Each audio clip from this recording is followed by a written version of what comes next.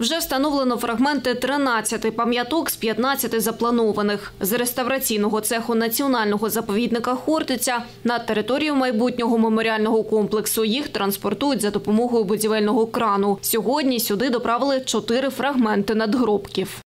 Деякі з пам'ятників мають чотири частини, тому ми поступово встановлюємо по одній частині, потім по другій, по третій, таке інше. Бо частина має бути закріплена обов'язковим чином для уникнення подальшого сування, вандалізму і такого іншого. Сам проєкт створювався кількома людьми. Е, Базовий ескіз нам надав наш директор Остапенко. Він створив е, модель, яка є основною для цього пам'ятника. Потім попросив канадських наших колег-дизайнерів для втілення в 3D-моделі.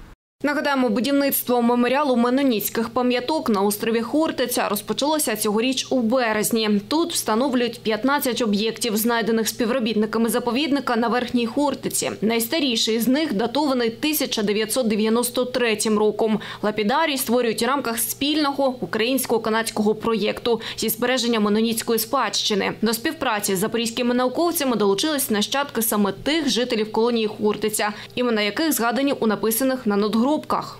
Анна Нібур, такий бачиш постамент. На нього поставиться ще потім дві конструкції, яка завершить цей надмогильний, власне кажучи, меморіал.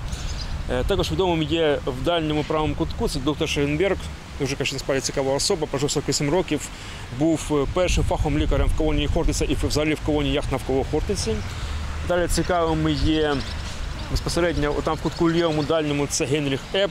Він був пастором, був також вчителем, був головою колонії. Для огляду відвідувачів меморіал планують відкрити вже наступного місяця. Науковий співробітник національного заповідника Хортиця Максим Штацький не виключає, що у майбутньому він може розширюватися, адже в реставраційному цеху зберігається понад 200 меноніцьких пам'яток.